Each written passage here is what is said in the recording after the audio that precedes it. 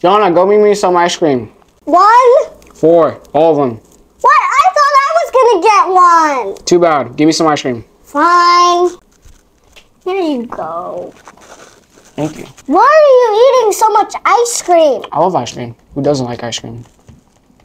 And I guess something in your brain like tells you when you like something. I think it's called dopamine. What's dopamine? It's like when you like a food or genuinely like anything. It's like a roller coaster. Uh, like dopamine is something that tells you you like this, so you should do it again.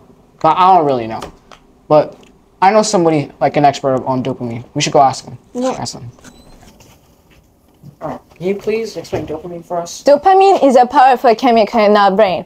It drives our desires and controls our actions. Dopamine is a neurotransmitter, a chemical messenger, but it's mostly known as the pleasure chemical.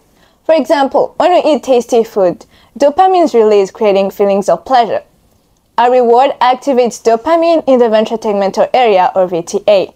The projections of VTA cells go to an area called ventral striatum, but specifically the nucleus accumbens.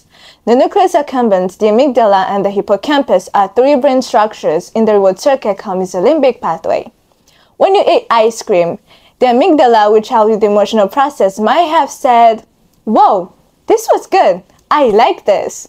The hippocampus, connected to the amygdala and which helps form memories, might have said something like, You know what? Let me remember everything about this so we can repeat this again. The nucleus accumbens is the control center for your body's motor functions. It might have said something like, Well, I guess your arm should grab another ice cream.